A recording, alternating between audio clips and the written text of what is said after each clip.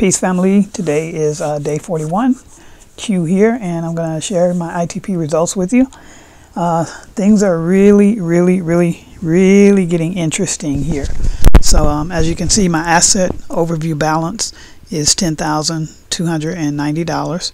And if you've been following me from day one, then you know I started with an initial $1,000 deposit.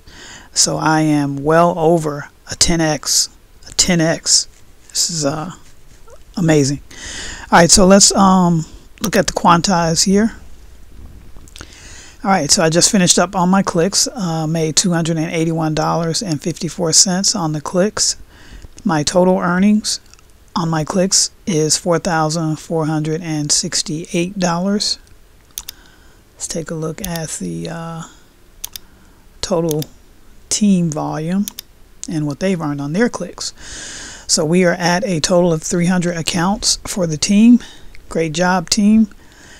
The amount of um, earnings that they've made on their clicks is $44,891. So as we continue here, this commission number is going to get a lot bigger than this. This is the deposit amount right here for the entire team. And then this is the amount they've made on their clicks.